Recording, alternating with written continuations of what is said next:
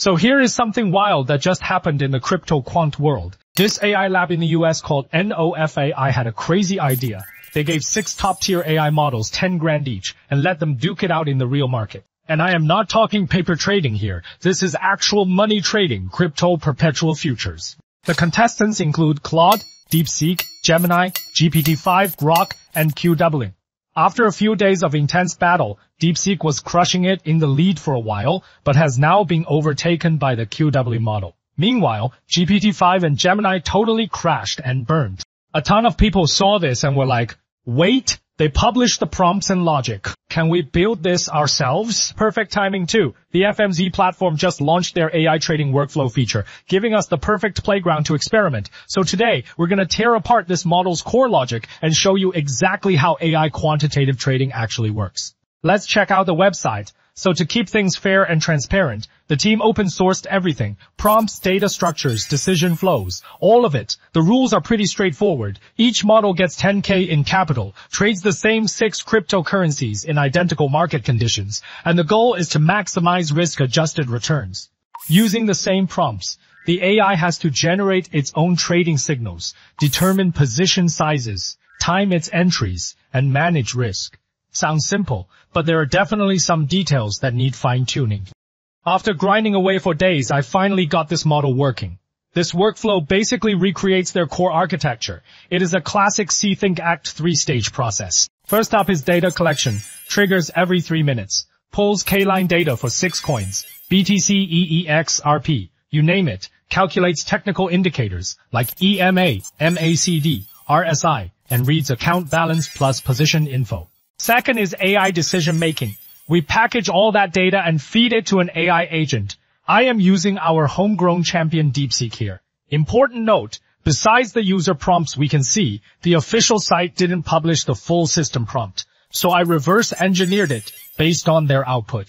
This prompt is super strict, max 6 positions, single trade risk capped at 5%, must set take profit and stop loss.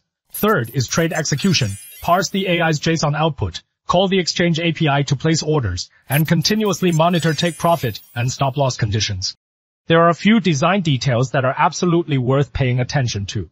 First is the data feeding strategy. Not only do we have 3-minute short cycle data to catch quick moves, but we also have 4-hour long cycle data to help the AI identify major trends.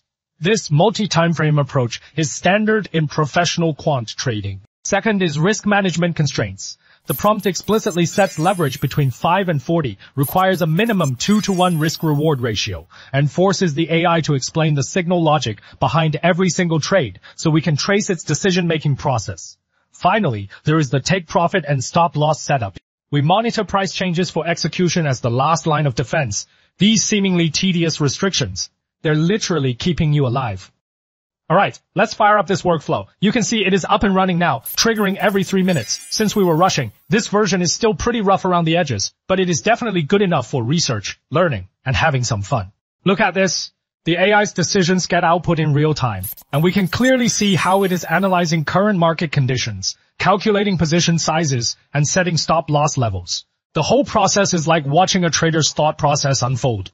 So this source code and live trading records are all public now. If you are interested, you can try it out on the FMZ platform. You can swap out different models, tweak the prompts, pick different coins, experiment however you want.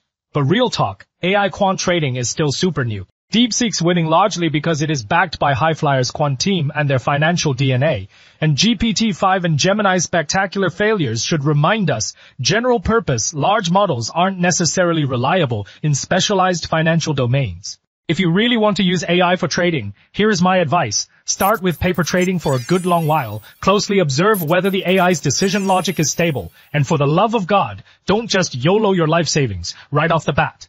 At the end of the day, no matter how smart the AI is, you still gotta respect the market. That is it for today's content. Catch you in the next one.